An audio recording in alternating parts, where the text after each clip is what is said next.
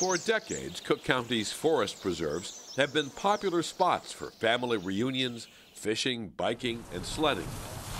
But unknown to most visitors, they are also the home of some ancient discoveries. Very few people realize uh, the wealth of archaeological resources that are here. The research compiled from Forest Preserve archaeological sites tells a story dating back more than 10,000 years. That history yields critical clues about the people who once inhabited the land and how they used it. Here's where we found a projectile point yesterday.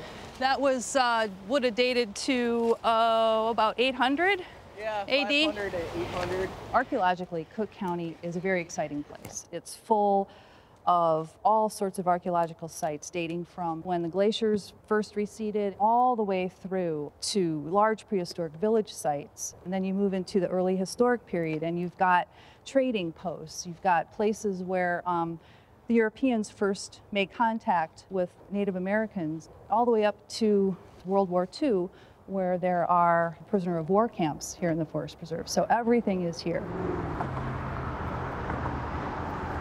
This is the third largest metropolitan area in the United States. Most places like that, those sites would have been destroyed. But because of the Forest Preserve property, they've been preserved. Hey guys. Hey. Did you just start this hole or are you about into it? Our focus um, now is to get boots on the ground, you know, crew out in the field, recording and identifying and documenting site locations. The types of artifacts that we're looking for are usually the remnants of a stone tool technology.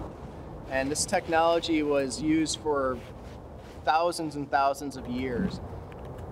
This little bag is the artifact bag. And if we didn't have this simple technology, none of the things that we'd be doing today would matter because we wouldn't know where we found those artifacts. Preserve officials say if the sites are not protected, then what's hidden in the land could be in danger. That beyond natural threats such as flooding and erosion, looting and even recreation could cause damage. Someone might be riding their bicycle not on a bike path but just through the woods or something and have no idea that they're on top of or right next to an important archaeological site. So one of the things that we're helping the Forest Preserve with is um, protection and preservation. Knowing where the sites are ahead of time, we can help the Forest Preserve say, you know, let's put this recreational activity over here rather than over here.